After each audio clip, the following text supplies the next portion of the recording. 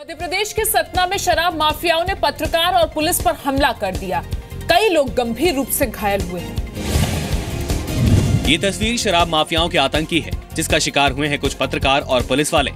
सतना के टुकुरिया टोला में शराब माफियाओं के खिलाफ कार्रवाई के दौरान हुए हमले में कई पत्रकार और पुलिस वाले घायल हो गए। शराब माफियाओं ने चंद्रभान कश्यप नाम के पत्रकार पर तलवार और लाठी डंडों से हमला किया, जिसमें वो पूरी तरह घायल हो गया। जब पुलिस कार्रवाई करने पहुँची तो शराब माफियाओं ने उन्हें भी निशाना बनाया। अवैध शराब हो जो भी है अवैध धंधे किसी के नहीं होने दिए जाएँगे सख्त कार्रवाई करेंगे। और इस मामले में भी सख्त से सख्त कार्रवाई की जाएगी। पुलिस को निर्देशित कर दिया है कोई कोताही नहीं होनी चाहिए कार्रवाई करने में। वारदात 27 मई की है। अवैध शराब की बिक्री से परेशान शिव कुमार नाम के शख्स ने विरोध में आवाज़ उठाई। शराब माफियाओं ने कट्टे की नोक पर सरेआम उसका अपहरण कर लिया और मारपीट की। घटना की कवरेज के लिए पत्रकार मौके पर पहुँचे तो पत्रकारों पर भी हमला किया गया। शराब माफियाओं के हमले में पत्रकार और पुलिसकर्मी समेत सात लोग घायल हुए हैं। अमेरिका में एक माँ की लापरवाही के चलते एक गुरिल्ला को मार दिया गया। इसे लेकर सोशल मीडिया पर लोग नाराज़गी ज़ाहिर कर रहे हैं।